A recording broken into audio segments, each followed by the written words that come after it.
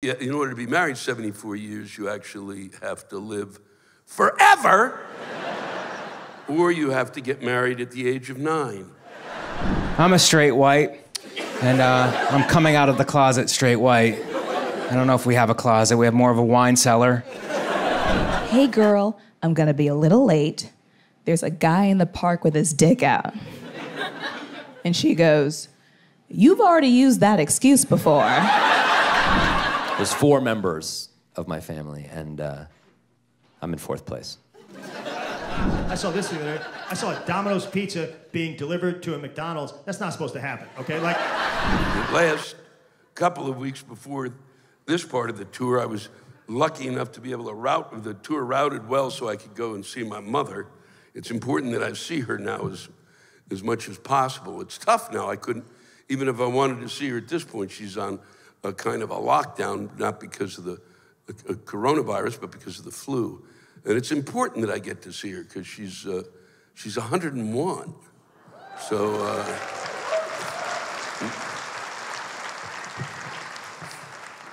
And what's really important is I want to get my hands on those drugs. Because they apparently really work. Whatever she's taken. Whew. My, my father, Sam, he passed away in, uh, in May. It, it, it, it's hard to think it's, it, it's sad, of course, and I'm, I, I mourn, but he was 101. So you can't really say, fuck, Dad, you, you should have lived longer. You know, 101, the two parents who were 101. That's like, in, it's an insane kind of a lottery. I mean, that's sweet of you to applaud. I did nothing. Uh, but there's a real shot that I'm a, well, that I'm a reptile. They were married 74 years. The, yeah, well, well the, yeah, in order to be married 74 years, you actually have to live forever, or you have to get married at the age of nine. Well, actually, the, the secret to having a marriage that also is as successful as theirs was is they never, and I mean never, heard a word the other one said.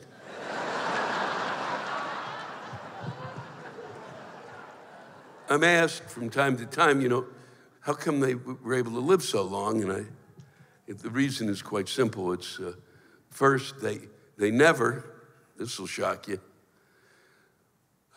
they never went to the gym. Yeah. And those of you who didn't laugh, you know, think about that when you're doing your hot fuck yoga. Unlike eating farm to table,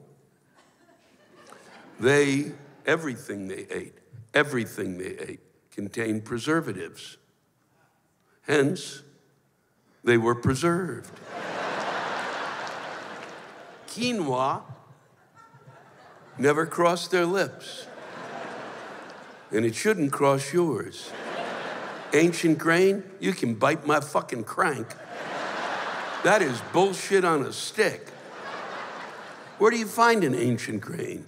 At the open all night ancient grain supermarket? I don't fucking think so. Hey, would you like some quinoa with your protein? Get the fuck away from my protein with that shit. And it tastes like shit. And if you don't think it tastes like shit, there's something wrong with your fucking taste buds. All I think about when I look at quinoa is they made sand taste better. When my mother reached mid 90s, I said, What's it like living so long? She said, I wouldn't call this living. I'd call it not dying. I'd call it overtime. She turned 100. This is absolutely true. She blew the candles out on the cake and said, Nobody should live this fucking long.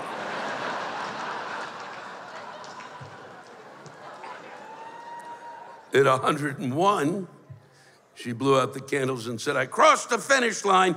Now I should be able to drop fucking dead. and then we all sang uh, Happy Birthday. My father uh, it was a blessing. My father was a, a, a bit more upbeat, which was good. Uh, he was born on Valen, actually February 13th, the day before, and uh, we had a 100th birthday party on that day. The last big birthday party for him, and uh, for the big party for both of them when they could kind of really deal with that kind of energy and stuff. And uh, it, was, it was a lot. It becomes a lot after a while. Uh, I got a text from a friend. I took my father aside and I said, You know, Steve just texted and he said he's sorry he couldn't be here, but he, uh, he wanted me to kiss you, but not on the lips. and my father, without missing a beat, went, Where did he want you to kiss me?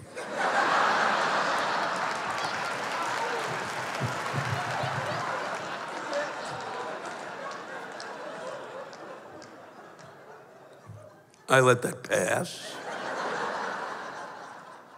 I said, It's a hundred years, Pop, and you've seen it all. What wisdom can you impart? What are you thinking? What did you see? What can you conclude from all of this?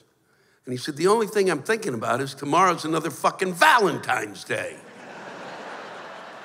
what am I supposed to get her this year? I said, I don't know, but you got two day free shipping. It's tough. It's, uh, we, we, we really weren't prepared for our parents to be living this long. Our parents weren't prepared to be living this long.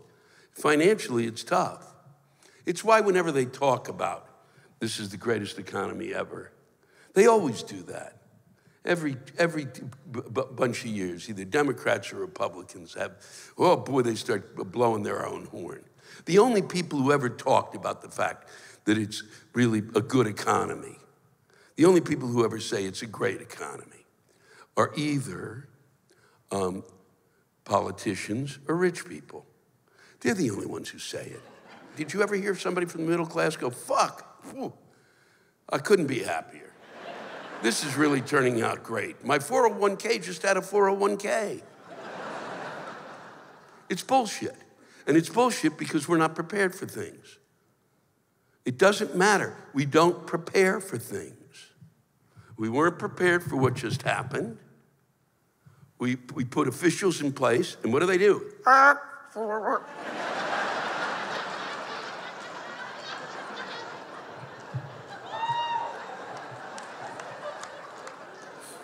And meanwhile, meanwhile, before that shit even hit the fan, my, my parents were not, had no clue that they would live as long as they were living. And the only reason they were living as long as they lived was because I was um, able to get them 24 7 care. And I was able to get them 24 7 care because I've been able to dupe you fuckers into seeing me. and so, and so, for those of you tonight who may have stumbled in here by accident and are going, well, I made a big fucking mistake. I just want you to know, you know, you may not enjoy the show, but because of you, my mother will live another day.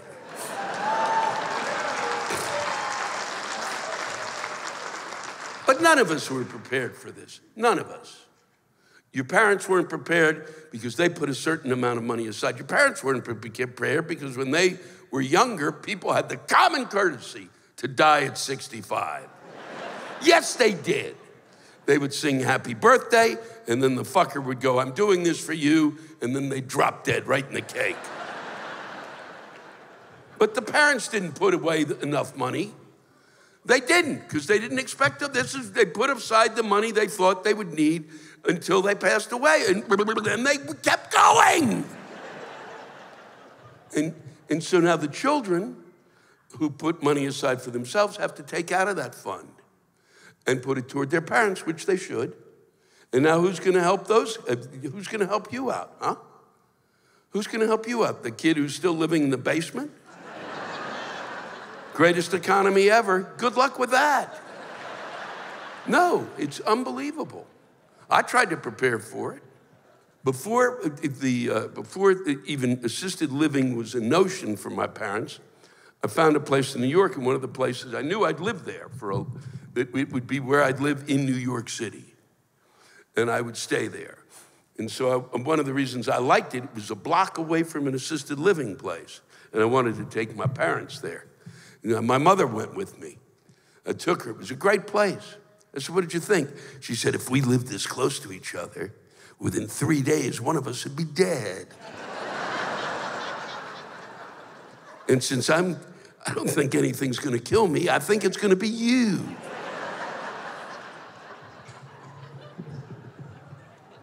Many people say, I hear this from time to time, many people have a, a frontier mentality, even though we don't live on the frontier. And they think that if your parents can't live at home um, or can't have assisted living, that they should live with you, the children. And whenever anybody tells me that, I usually go, You don't know my fucking mother! Why don't you try to spend four hours with her, you fuck? I'll give you $10,000 if you make it for 20 minutes. Because I can guarantee after 10, you'll be going, Look, uh, can you get me a flight to North Korea? Because my mother's gonna break you, you piece of shit.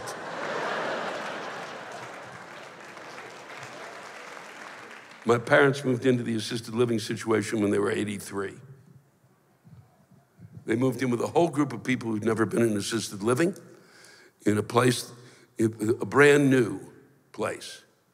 It was the first time, it was just opening. It was a lucky break.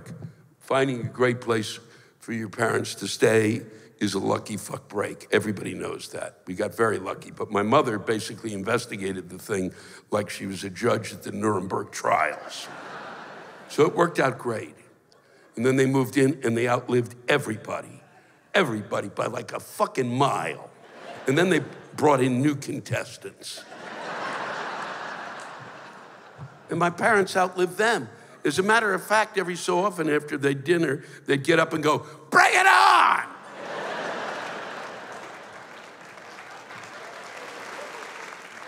and finally, I called up the assisted living place and said, uh, Looks like my parents won the contest. They said it wasn't a contest. I said, fuck you, this was the real survivor. My mother is quite honestly this tall. I'm a little worried. She may not die and she may just disappear. But one thing that might save you money, one thing I've been able to do is I've, I've moved her into a terrarium. She's happy there, but she thinks that the tortoise is Mitch McConnell. Now I'd like to talk about race.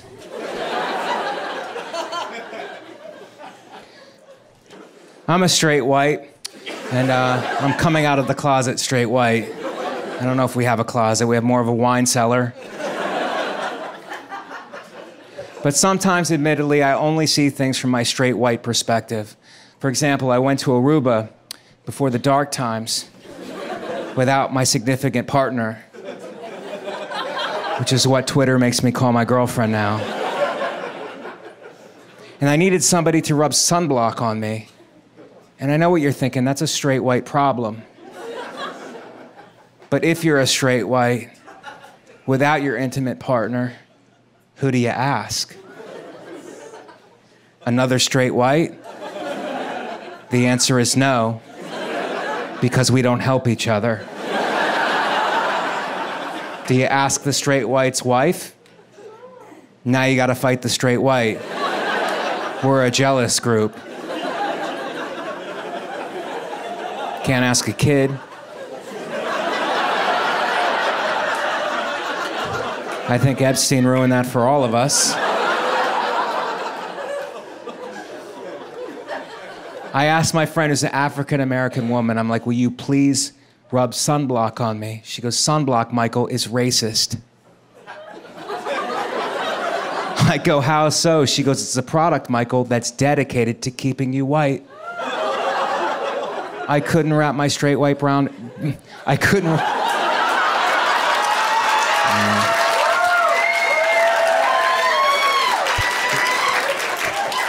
I couldn't wrap my straight white brain around it. And then she goes, and, and you could tell the level of racism by the SPF. SPF 5 is a little bit racist. SPF 40 is Nazi strength.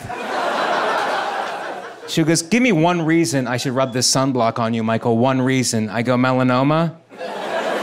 That was her name, Melanoma Jenkins.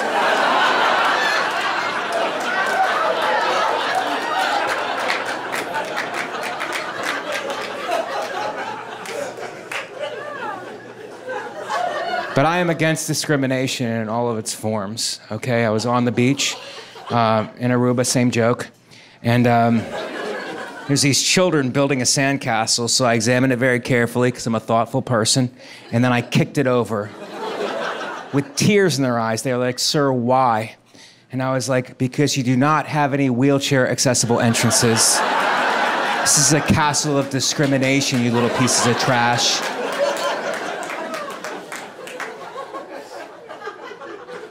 And I told that joke to an audience full of people in wheelchairs, and they actually gave it a standing ovation. So you guys have a you guys have a lot of work to do.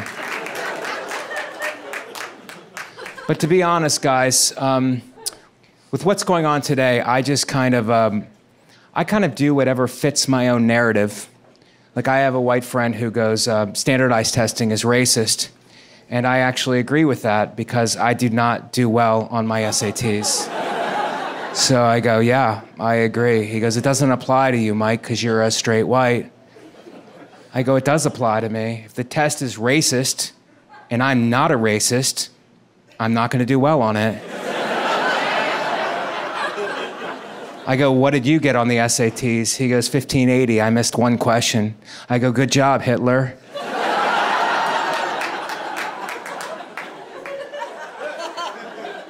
Now I'd like to talk about God.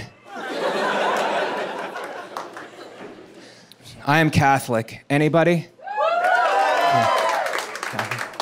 Well, for the rest of you guys who are going to hell,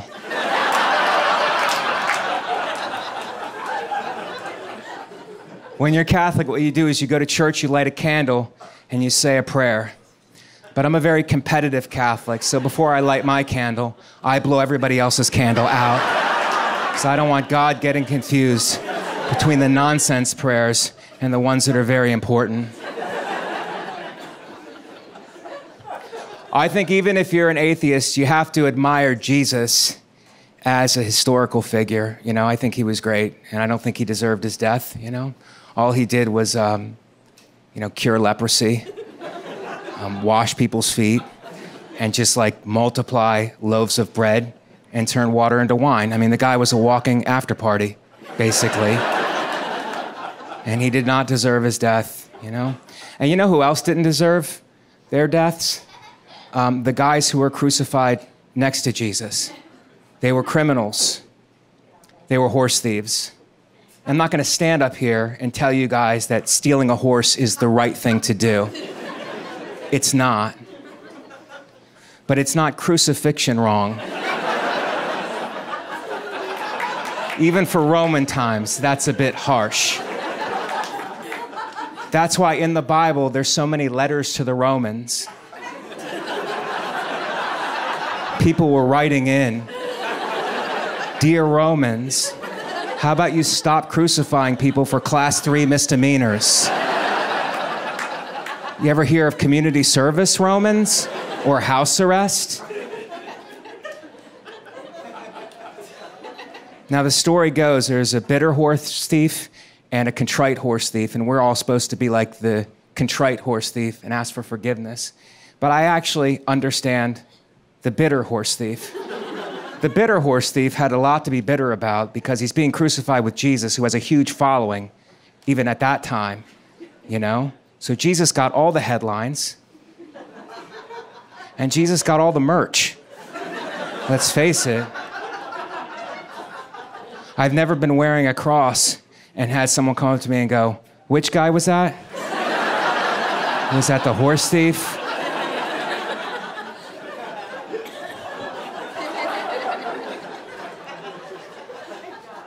Now, miss, have you been to Israel?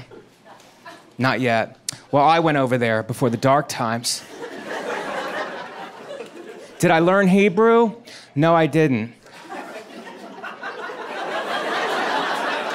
But I looked at it a lot. And the language of Hebrew just looks like somebody is repeatedly trying to draw a footstool over and over again. It just looked like footstool, half a footstool, one leg of a footstool, footstool flipped over, footstool flipped over, footstool, one leg of a footstool, flipped over footstool, half a footstool, one leg of a footstool, footstool, footstool, half a footstool. I just wish you guys a happy Easter. In uh, Hebrew, I just wish you guys a happy Easter.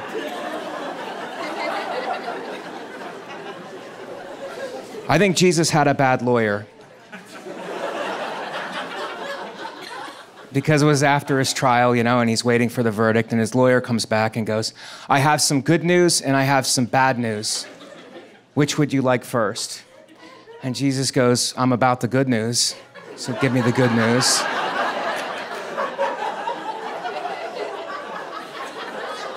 And the lawyer goes, They've decided on crucifixion. And Jesus goes, That's the good news? What's the bad news?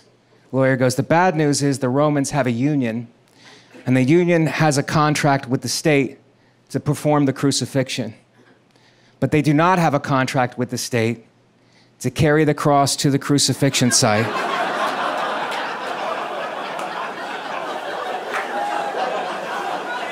Jesus goes, Why are you telling me this? The lawyer goes, They want to pay you a non union wage to carry the cross, you know? Jesus goes to the lawyer, he goes, uh, Who are these people that are doing this to me? And the lawyer goes, They're the Romans, but later they will become Italians. And if it matters in the future, they're going to be way into you. They're really super into your birthday. And they're going to put nativity scenes with your whole family on their front lawn. And if anybody messes with them, they'll flip out and it'll make the newspaper. And Jesus goes, Italians, huh? Well, how about this? Everybody in their ethnicity, all the men in their ethnicity, have hair on their back for the rest of eternity. All their women have mustaches. All their kids live with their parents until they're 40. And when they do move out, they move next door. How's that? Is that fun? Tell him it's from the King of the Jews. I called 911 for the first time. It happened in New York. I saw something and I said something. what happened was I was walking through the park, and next to the park was a car, and inside the car was a man, and inside the man's hand was his dick. he was masturbating on a Sunday morning. It was like he was the early bird jerking his worm. And I was concerned because there were kids running around. And I was like, what about the children? I didn't call 911 immediately because I was on my way to brunch. I had to address that first. I called the friend who I was meeting up with and I was like, hey girl, I'm gonna be a little late. There's a guy in the park with his dick out. And she goes, You've already used that excuse before. fair. But I was like, who do I call in this situation? I'm not aware of like a masturbation tip line, although there should be one. Just the tips?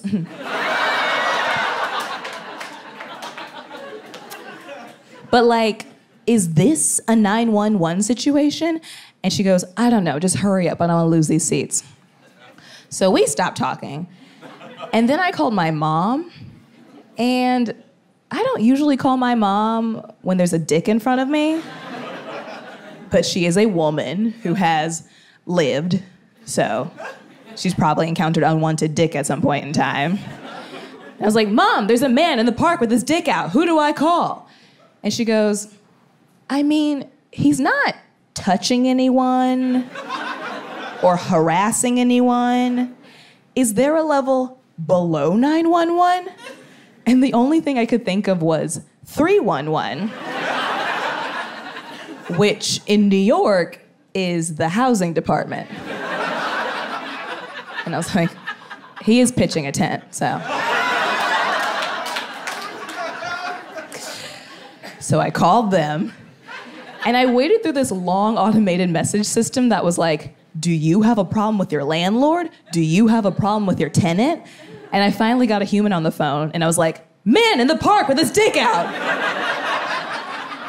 and she goes, Is this man your landlord or your tenant?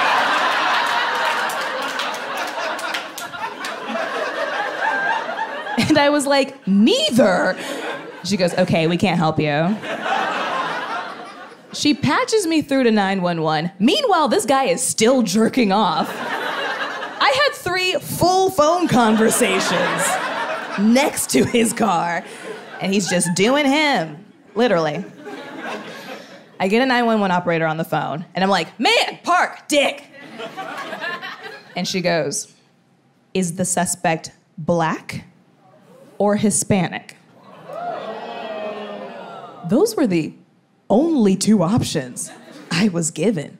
Shortest multiple choice question I've ever had in my life. And I was like, are you kidding me? Like, this is where we're at? People keep saying we're in a post racial society, and yet people keep thinking like this. How are we supposed to progress when authorities automatically assume that the person committing a crime is a person of color? That being said, he was Hispanic. and then I was like, well, now I don't want to snitch.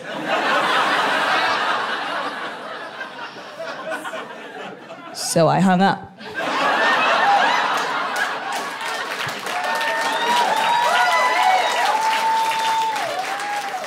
Because then I started feeling bad for him. And I was like, maybe he's just so stressed out from all the oppression he deals with every day in this country that he just needs a release.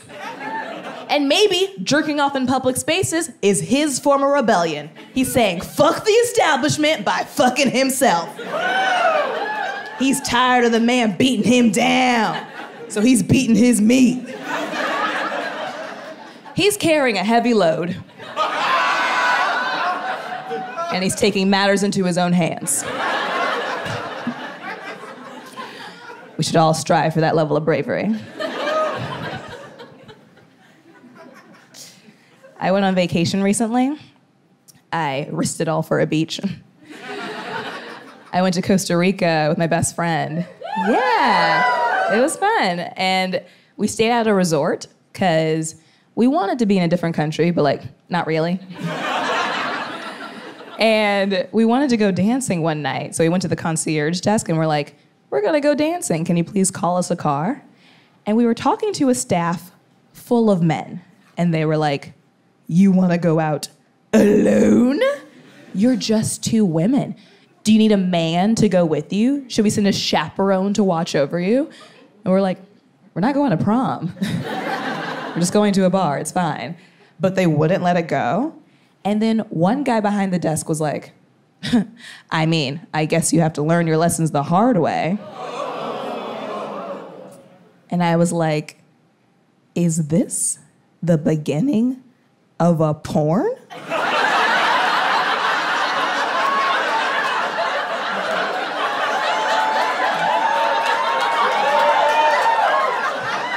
Learn my lessons the hard way.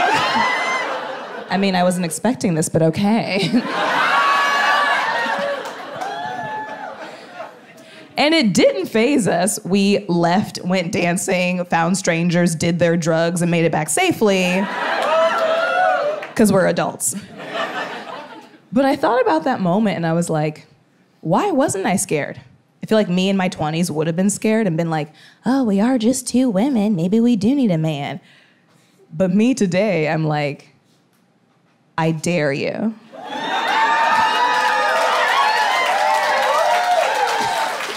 I dare you. I'm not worried to learn my lessons the hard way anymore because I've already learned all my lessons the hard way. I lived in New York for almost 10 years. I'm a woman in her 30s.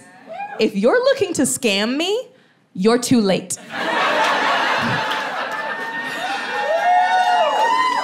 I have been scammed. At this point, I know all the tricks. I've been scammed out of money, sex, my time, mostly from the same guy. I used to live in Brooklyn, and I was at a local bar flirting with this guy, and we were giving each other like fuck me vibes. And I was like, okay, I think this is gonna happen. But he kept doing all these like chivalrous transactional acts for the pussy. And I wanted to be like, no need. You got nothing but green lights here. We're good. But he wouldn't stop. And I was like, okay, this is clearly for him. I'll just play along, and this will be like personal role play where I pretend to be somebody who's harder to get than she actually is. I'll give it a try. So we're flirting in the bar. Bar shuts down, and he goes, Oh man, it's so late. I should probably walk you home, right? And I was like, Yeah. walk me home. I wouldn't want to learn a lesson. and so he walks me home. We get to the bottom of my apartment building, and he goes, I should probably walk you upstairs, right? And I was like, oh my God, thank you. I always get so lost. I'm terrible with directions. Is it up? so he walks me upstairs. And then we get to my living room and we're talking for a long time. And then eventually he goes, Oh, wow, it is late. I should probably stay here for the night, huh? And I was like, Uh huh. And he goes, On the couch? And I'm like, Okay. And then we're like making the couch, tucking the sheets in the cushions, as if that's where he's gonna sleep tonight, wasting everybody's time. And then he tucks himself in the sheets. And he goes, Oh, you know what I just realized? If your roommates come home and they see a stranger on the couch, they're gonna think I'm an intruder. I should probably sleep in your bed, right? And I was like, Yeah, man, we are on the same team. We have the same objective. If you look at the board, this was the game plan the whole time. I even drew up a play for you to explode through the hole. Yes, get in my bed, and if your dick gets cold, you can use my pussy for warmth.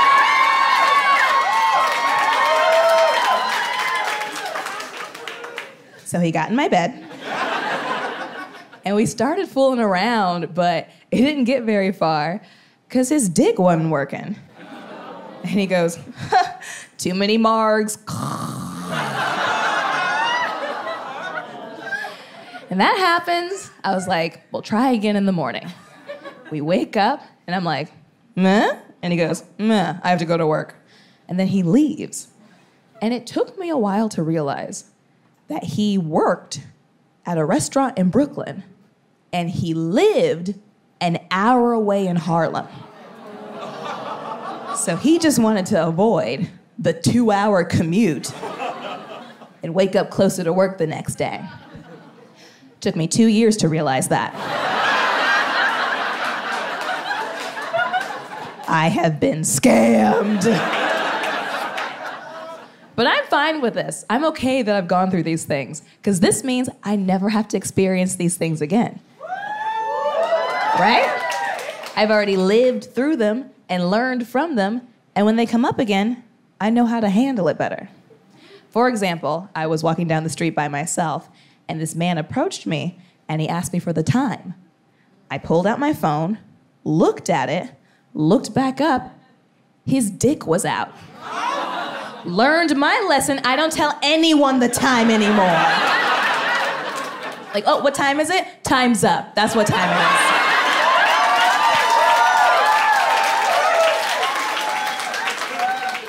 But on the plus side, that guy who showed me his dick, same guy I saw jerking off in the park earlier. And I was like, look at you getting out of the car. Not letting the man keep you confined to your tat spaces. take it to the streets. A really strange thing happens to you um, when you become a father, which is that you just sort of drift into the background of your family and you become wallpaper. There's four members of my family, and uh, I'm in fourth place. Growing up, my dad would always say, I'm the LVP of our family. And I'd say, No, you're not. You're just a fucking drama queen. but now that I'm a dad, I so get it. I so get it. My wife's happiness, my boy's happiness, it genuinely matters more to me than my own. As a father, your job is to pay for everything and shut the fuck up about it.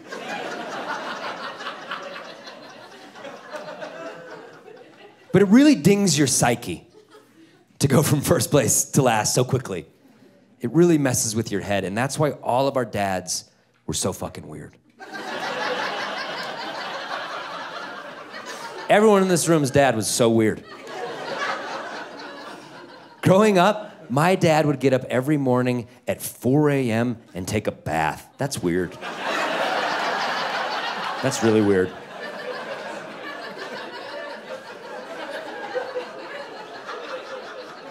But now that I'm a father, I've never understood anything so much in my entire life.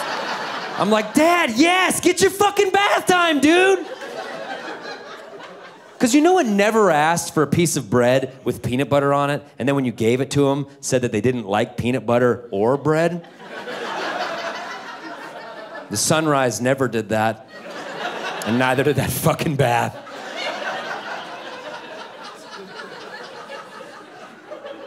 Here's my thing. Here's how I've changed. Now that I'm a father, I can't talk to waiters fast enough.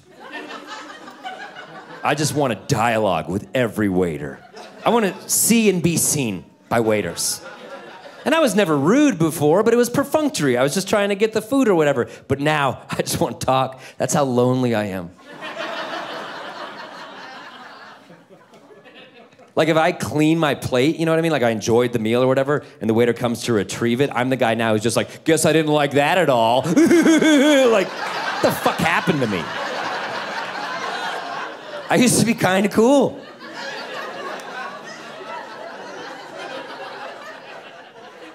Here's my move. Here's my opening line with waiters. Here's what I do. I'll go to, I'll say, uh, hey, what's good to eat here? Yeah, I put the ball in their court. Hey, what do you like to eat here? what a, what a culinary trust fall that is. You know, it's a thrill ride. Because you have to eat whatever they suggest after asking them. What kind of fucking maniac asks the waiter what's good to eat here and then summarily rejects whatever they say? Hey man, what's, what's good to eat at this restaurant? What do you like? Oh my God. Out of all the restaurants I've ever worked at, the chef does the best fish and chips I've ever had in my entire life. Oh, really? I'll get the BLT, you fucking idiot. We're landlocked, Kenny. What is the chef a wizard with frozen cod? Suck my dick. the fuck out of here. But here's the thing you don't even have to be at a sit down restaurant to pull that move. You can pull it anywhere if you're lonely enough. the other day, I was at a Jimmy John's. I broke it out. At the kid working, I go, "Hey man, what's good? To, what's good at this Jimmy John's? hey dude, what do you like at this Jimmy John's?" He thought about it for a second. He was like, "Uh, the chips." He couldn't think of a single sandwich he was willing to get behind. But he was all in on the chips, and everyone in this room knows he's fucking right. Those chips are delicious. They're crunchy, they're not too greasy, there's a lot of them. One bag of Jimmy John's chips is almost enough to make you forget about that photo of the CEO shooting an elephant. Jimmy John's, where the secret ingredient is ivory. I'll do it again. Jimmy John's, where the secret ingredient is ivory. That's the teaser. That's the teaser. I could feel it. Chop it up. Send it to Netflix. They'll be like, no thanks. that, that desire to be seen and recognized as a father, I don't think it gets better with time. I think just the opposite, it only gets worse.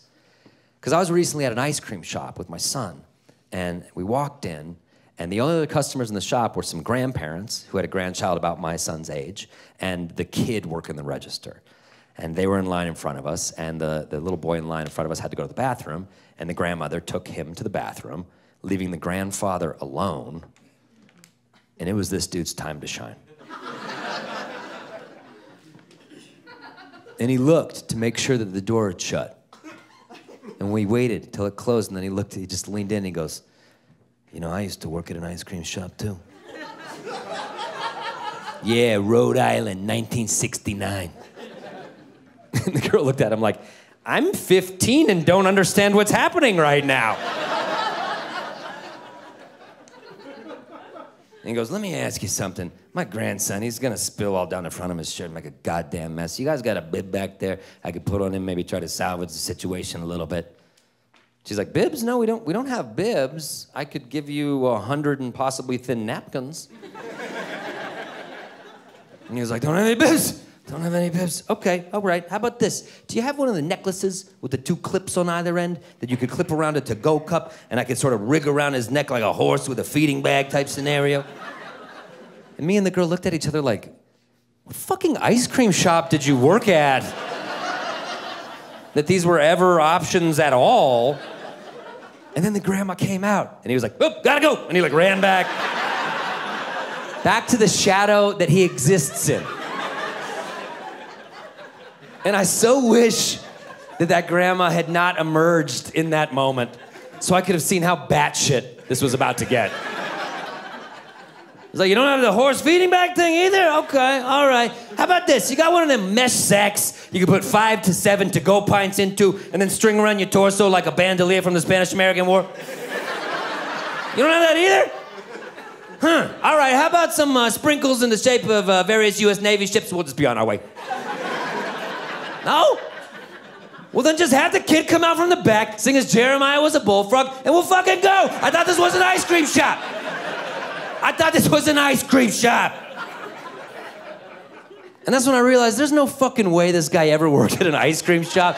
He's just a weird old man who wants to talk to anybody. I could follow this dude around for days, and he would pull the same sad grift everywhere he went. I could see him the next day at a coffee shop. He just leans in, He's like, uh, you know, I used to work at a coffee shop too. Yeah, New Hampshire, 77. And back then they didn't call us fancy baristas neither. We were the Cup of Joe boys, and we didn't take any shit. And let me ask you a question. You still do the promotion where if the customer rips off their shirt and you pour a scalding hot pot of coffee on their chest and they don't cry out in pain, it's free? Because I accept.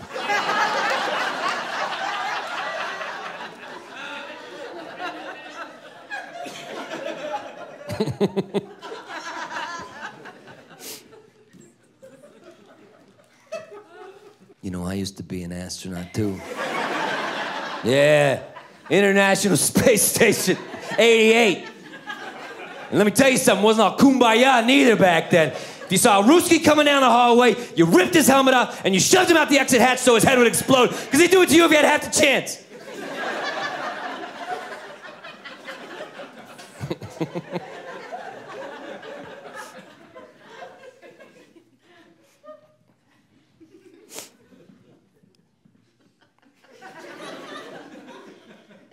January 6th.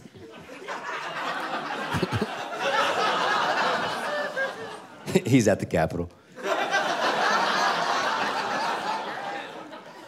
You know, I tried to overthrow the government once too. Yeah, Oregon, 91. And back then, we weren't taking selfies at Nancy Pelosi's desk. We were writing manifestos and we were blowing up post offices. Now let's hang Mike Pence. You guys call your grandpas. If you're not talking to them, Fox News is, and it's getting pretty weird. It's getting pretty weird.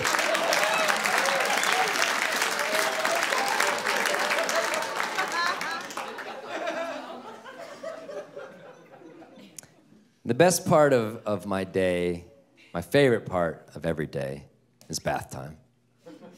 It's dad's responsibility. I take it very seriously. We use the bathtub in our bedroom, and uh, I put the boys on the bed. I go to our bathtub, I turn it on, strip off one layer of clothing, check the temperature, take the undies off, get the diapers off, go back, check the temperature one more time. The second I've turned my back on my two naked sons, I turn back around, and the three year old is desperately scrambling to get his nuts on the one year old's forehead. and his little golem legs are scrambling. He's like, must find proper nut on forehead position.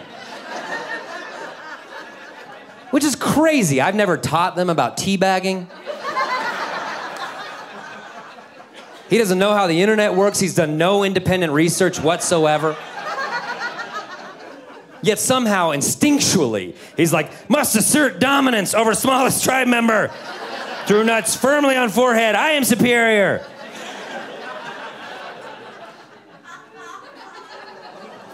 And I hate it. I hate it so much. So the other day I was like, you better cut that out. And my son goes, why? And the only thing I think to say was, uh, it's because you might have to borrow money from him someday. hmm? Hmm?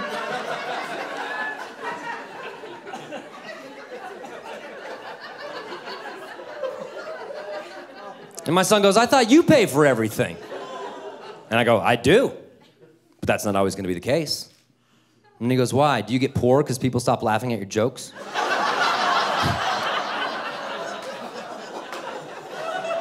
I was like, That's not what I was insinuating at all. But I mean, yeah, that is always kind of the fear, isn't it? People stop finding me funny, the whole gig's up. I can't afford for this lifestyle at all anymore. And he goes, Why would people stop laughing at your jokes? And I go, I don't know. And he goes, Do you think it's because they became a fan of you when you were one thing and then you just sort of morphed into this dad comedian? They didn't really sign on for that shit? I was like, Jesus Christ, dude. Nail on the goddamn head, yes. I never wanted to be one of these kids say the darndest thing comedians. But ever since I had you and your brother, it's like the only jokes I can write are about you too. And he's like, Write what you know, right, Dad? And I'm like, Fucking A, write what you know, exactly. And I love that this is what I know. I wouldn't want to know anything else. It is such an honor being your guys' father, but still, I just worry my comedy's becoming a little bit one note. My son goes, Dad, your comedy couldn't be one note if you tried. I said, Really? He goes, Yeah. Look at the premise of this joke you're telling right now. You're carrying on a long conversation with a three year old. You've lost half the audience at this point. And I was like, oh, at least half. And he's like, yeah, but that half that's sticking around, they're on your every word, man. They want to know how you're going to land this plane. I was like, I don't even know if I am going to land this plane. And he's like, that's what's thrilling about it. It's risque, it's provocative, it's intellectual, it's surreal. I was like, are you kidding me? That's exactly how popular comedy blog The Laugh Button described my last album. He's like, I know, I read every word. He goes, Dad, let me ask you a question. I said, Shoot, little buddy, anything. He goes, What's the meaning of life? I was like, Fuck. That's heavy. And honestly, I don't, I don't know if I know. I know my trick. You wanna know my trick? He goes, Dad, I'd love to know your trick. I said, You find what makes you happy in life, and you go at it with everything you got. And you don't waste your time chasing after the bad stuff in the darkness. It'll find you if it was meant to, and it will devastate you. Do not waste your time going after that. You find what makes you happy, you find the light, and you go towards it as hard as you can, and you do not let the sadness of this world outweigh the beauty that is everywhere if you just try to look for it. And my son goes, Dad, that's fucking profound.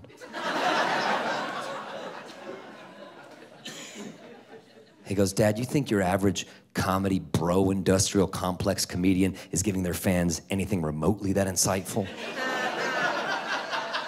I was like, no, I really don't at all. But I see this toxic masculinity podcast circle jerk and they're selling out theaters. And I'm like, maybe I should say something edgy, put some butts in seats. And my son's like, don't you fucking dare. don't you fucking dare, dad. He goes, You keep doing what you're doing, you'll sell out theaters too. And even if you don't, at least you said something interesting the entire time. And I said, Son, I'm, I'm just so glad we had this talk.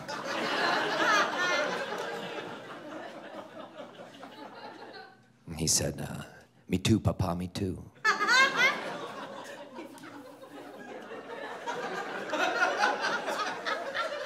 I said, You know what?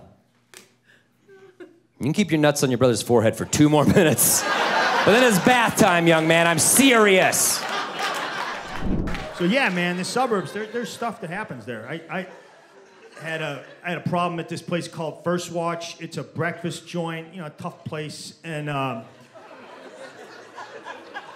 I go in there and they're like, it's a 20 minute wait. I'm like, okay, I can handle. it. I'll do my time, you know. So I'm sitting in the chair, I'm reading the paper, and I, I guess this woman came in after me, and she had a baby, and you know, I didn't see her. If I'd have seen her, I'd have offered her my chair but I didn't see her. So what she did, she just stood right next to me. She starts talking to her baby, but she's talking to me. All right, like, like no, no, no. There's nowhere for us to sit down. There's nowhere for us to sit down. There's nowhere for us. I'm like, oh, I'm sorry, ma'am. I didn't see you here. You, here, you can, you can have my chair. You know.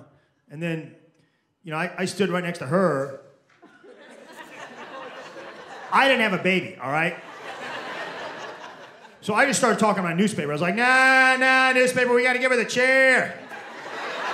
nah, the tactic she's using, that's called passive aggressive newspaper. She's, uh, she's a gutless woman. Yeah, She, and she is using her infant child in this charade. She's miserable. I... Tough, man. I'm not afraid of an altercation. There's just, the suburbs are crumbling. They are. I saw this the other day. I saw a Domino's pizza being delivered to a McDonald's. That's not supposed to happen, okay? Like, I get it. It was probably the kids that work at McDonald's got tired eating hamburgers. Like, let's order a pizza. They should have told the guy to go around back. He was in line at McDonald's holding a pizza. It didn't look good. I mean, I, I get it. I get it. You guys been to McDonald's lately? Everybody that works there is a kid. Everybody. I want to talk to your supervisor. We'll go get Mr. Smith. Mr. Smith's 15, all right? we would go get our district manager, but his mom said he had too much homework. He can't come to work until next Thursday. Customer service is gone. It doesn't exist, right? I mean, I just have a rule now. If, if, I, if I give you money, you just say thank you. That's it. You just say thank you, okay? And they don't do it. They don't say thank you half the time. I was in this place and, and I gave him like 300 bucks. I paid 300 bucks for something, and the girl goes, Hey, how did you hear about us? It's none of your business how I heard about you. Why don't you just be happy that I did hear about you? Next time that happens, I'm just gonna make something up to throw them off their little marketing research. How'd you hear about us? Well, I belong to a lot of hate groups, and uh, they told me I was supposed to shop here. They said for every dollar I spend here, 68 cents goes back to the hate group. All the hate groups, even my favorite hate group, the I hate the people that ask, How'd you hear about us hate group? How'd you hear about us? Japanese newspaper, full page ad in there. Sir, we don't advertise in Japan. Well, I saw what I saw. Uh, you should be grateful, but that's not really your strong suit, is it?